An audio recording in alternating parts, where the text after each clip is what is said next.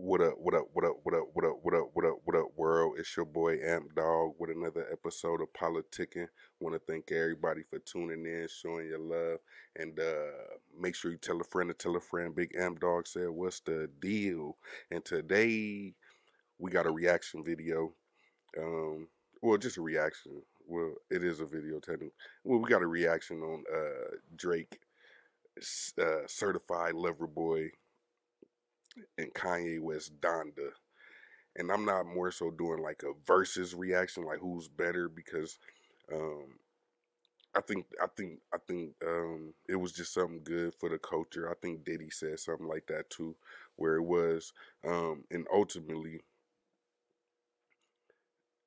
I don't think they. I might. I don't know. They might not hate each other as much as as much as we think, dog. because to me, just sitting back, just looking at how everything played out, it seemed like a, like y'all. I mean, they worked off each other for real. I mean, if you want to be technical, the hype around both of them, unless they was beefing, um, it wouldn't have been hyped up. I mean, the albums, the anticipation for them would have been there, I think, a little bit, but I, I, these ain't neither one of their best albums. That's what I would say. You know, I feel like um, in a lot of ways they were holding back because they want to gauge and see what the next nigga might do. But then again, it's just seeing how they numbers did what they did. Like y'all gotta be partners or teammates to to finesse the game like that. You know what I'm saying? Like they worked it. You feel me? You know what I'm saying? Going back and forth on social media, posting addresses, you know what I'm saying, leaking uh leaking diss tracks and you know, um I will say Drake is one surgical motherfucker though. I will say that. Cause I think right when Kanye thought he had him, Drake dropped that motherfucking that diss track which was which was you could only reason why I'll say he was surgical with it, and I know it had to make an impact, is because you get consequence dropping a diss track. It only had to be a direct response to him exposing that. You know what I'm saying? Which just even more jumped up the numbers. You know what I'm saying? You know, but both of them doing doing solid numbers. I don't. I to me personally, um, I can't really. I, I ain't really went back and re-listened to to him outside of when I was trying to analyze and see like, all right, how, to me it was like you got just classic Drake and classic Kanye with a little gospel on Kanye's end. I mean, I think it was good for, you know, you get one that's that's gonna be like the that get the vibe right, party, and then you get the one that you go to church that Sunday after you got done twerking all that all night in the club type shit, you know. So I think it's like give you a nice balance, but um, outside of that, I feel like uh, yeah, I feel like it was a super finesse, if anything. You know what I'm saying? Because we didn't get the best, we didn't get their best foot forward, and it was because they were trying to be so surgical and they every move that they made, you know what I'm saying? Extended rollouts and and things like that, you know, just just a bunch of extras, you feel me? And I don't know what's going on between these two is like damn, did Drake smash Kim? You know what I'm saying? Like allegedly, you know, cuz it just seemed like like they got like this little nagging ass feud that they just stick with and go at it. Like, you know.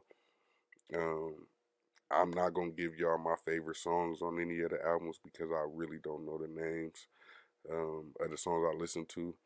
Um, they was, I mean, I don't know, man, because it was just, you know, like to anticipate an album dropping for three, four years or how many ever years it was, um, and then you get you get a whole summer jam type mixtape, you know, like a DJ Clue type mixtape where you get a bunch of artists on a bunch of different tracks together. You know what I'm saying? So I don't know. I feel like it ain't. I don't want to say it's like it's like rounding out being over for you know this these guys because you know they both talented. Drake got bars. Uh, he can sing. Kanye got bars. He can sing. Well, I mean, as far as they what they produce in music, you know, I don't know if they could really hold a note without you know the mechanics of uh, you know nice studio. But um, yeah, I just feel like you know the anticipation and the hype to me, the music wasn't there for it. You know, but it did keep me in. It, like I'm excited about it. I'm hyped. Like, oh, what are you gonna say next? You know what I'm saying? Because we sure couldn't get shit out of the other Toronto nigga when he was battling. You know, but um. yeah, I think I think I think this the, these albums didn't change, like it didn't add to or take away from what they didn't already accomplish and who they are in the game. If anything, I think it should be more pressure on the next projects that they drop, and hopefully they not basing it off of when he gonna drop in, you know, because it was just a numbers game, you know, and um, yeah, I mean Drake Drake know how to play them number games. Kanye do too. So it's just one of those we see may the best man win, you know. I will say that Kanye diss track, you know, with Andre 3000, I feel like, you know, um I feel like Kanye should have had that on the album.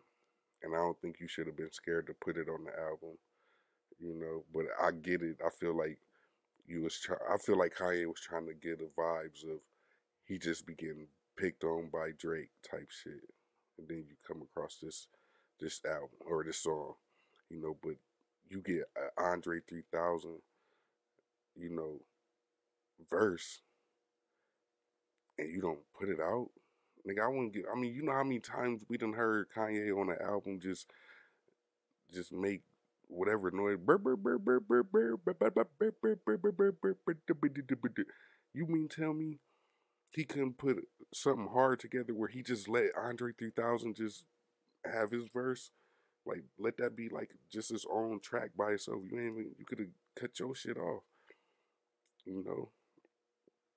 Um, I don't know. I just think I think uh, it's a, it's a good day to be a part of hip hop, but neither one of these are the albums of the year. Yeah, they got good numbers first week, second week, shit like that, you know. but yeah, I don't see them uh, taking any of the of the crowns of, you know.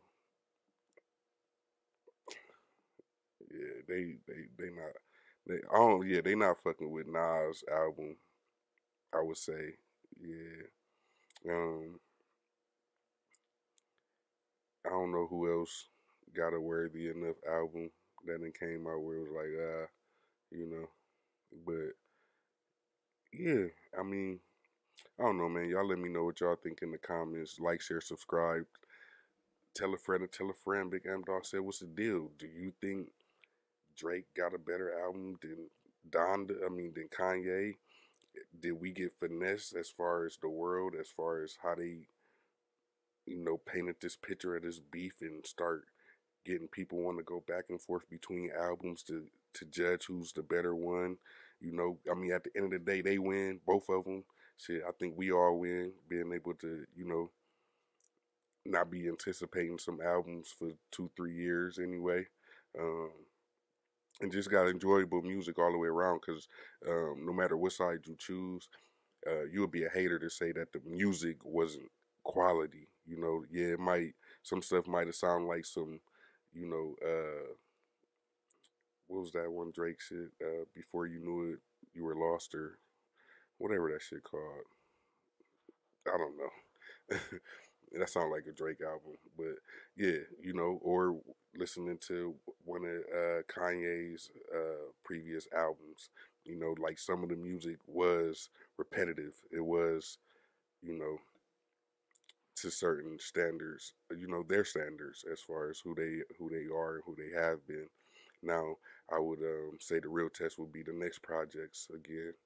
Um, that way, we can see uh, what type of um, elevation you can take. You know, I mean, I guess it's it's it's it's, it's kind of unfair in certain cases because you know you guys start off doing your thing and then y'all climb to this top tier and then we still setting expectations on y'all, you know, similar to what Brian and all them niggas go through, you know.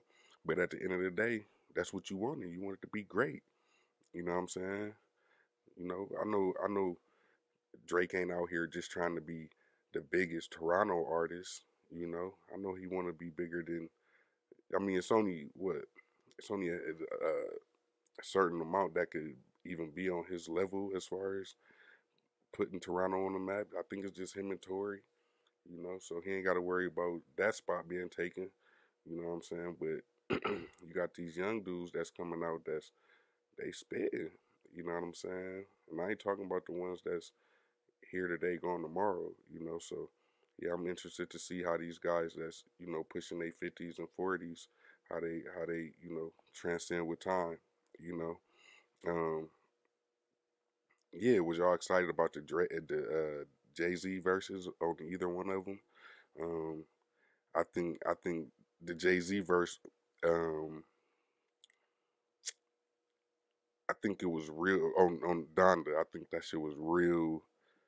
Like you always said, I'm your big brother, so I think he he he really sunned Kanye in a way as far as just like, hey, come back over here. But you know, at the end of the day,